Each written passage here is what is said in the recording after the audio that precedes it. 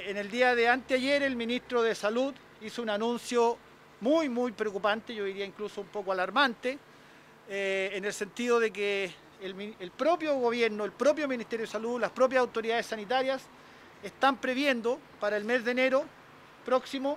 eh, un rebrote, una segunda ola más bien dicho, de contagios. Y el propio ministro de Salud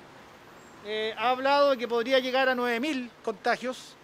eh, que se fuera con creces la cifra que tuvimos en el momento pic de la primera ola, que fue en el mes de junio, casi 7.000 contagios. Si usted me pregunta hoy día, decretado por el gobierno un retorno el primero de marzo de manera vertical y autoritaria impuesto desde arriba, lo más seguro es que no se acepte eso y no se acate. Eso sería el estado de situación hoy. Por eso, con tiempo, con tiempo nosotros estamos diciendo ahora, primero de diciembre, que se conforme esa mesa de trabajo y de ahí se generan las condiciones. Obviamente la gente, si hay 9.000 contagios, si hay camas críticas UCI eh, sobrepasadas, si hay gente muriendo en enero, febrero, evidentemente en marzo va a ser altamente improbable que se pueda volver a clase. Ojalá no se dé ese escenario, ojalá no. Nosotros queremos que ojalá el país supere la, la pandemia. Se anunció también por parte del Ministerio de Salud y nosotros eso lo hemos valorado, que los profesores y profesoras seríamos del grupo de prioridad para la vacunación. Eso nos parece bien, pero no es una medida suficiente, es una medida importante que la valoramos, pero no es suficiente, tienen que haber muchas más medidas y todo eso es lo que nosotros queremos trabajar en la mesa de trabajo. La vacuna puede ayudar ciertamente y ojalá el país pueda tener vacuna durante el año 2021 y finalmente dar por superada esta pandemia, pero al, al contexto de hoy vemos muy difícil que el Ministerio pueda imponer autoritariamente y verticalmente un retorno sin que solo haya trabajado con los representantes de las comunidades escolares. Tampoco va a ser aceptable, yo lo quiero reiterar con mucha claridad y con mucha fuerza, que el Ministerio pretenda, como lo han eh, emitido las circulares que han eh, distribuido los Secretarías Regionales Ministeriales de Educación, quitarle vacaciones a mis colegas que han tenido un año tremendamente agobiante, de enorme fatiga, de gran demanda, donde se ha trabajado el doble o el triple, donde se ha hecho un tremendo esfuerzo, pretender quitarle las vacaciones de febrero como lo está haciendo cuando pretende que se vuelva el 22 de febrero a trabajar.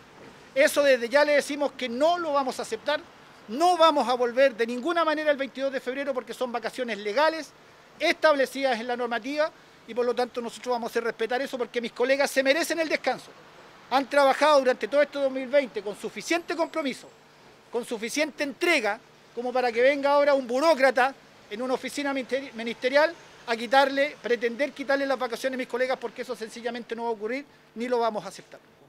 Por último, también queremos decir que no se pueden tampoco seguir dando estas señales tan contradictorias, como por un lado decir que tenemos que cuidarnos en las casas, que tenemos que eh, prepararnos para enero una, casi una catástrofe sanitaria, mientras por otra parte se dan señales de normalidad, se, se siguen abriendo los malls, se sigue funcionando como si todo estuviera absolutamente normal, y son mensajes absolutamente contradictorios. Y eso repercute en nosotros como comunidades escolares porque obviamente la ciudadanía la conforman nuestros apoderados. La ciudadanía está conformada por nuestros estudiantes, nuestros colegas profesores son parte de esta cotidianidad escolar, eh, cotidiana, cotidianidad diaria también. Eh, las autoridades deben terminar con estos mensajes contradictorios. Hacemos un llamado al, ministro, al ministerio, de realmente estudiar las situaciones y ver porque a pesar de que las escuelas y las, comunidades escolares están con la disposición, especialmente los profesores y los directivos, con de, hacer lo mejor que pueden, las condiciones no se dan. Las condiciones de infraestructura, las condiciones sanitarias no se dan. Así es que por favor eh, hacemos un llamado que no eh, sigamos con esta eh, amenaza en el fondo, yo le llamo tortura psicológica.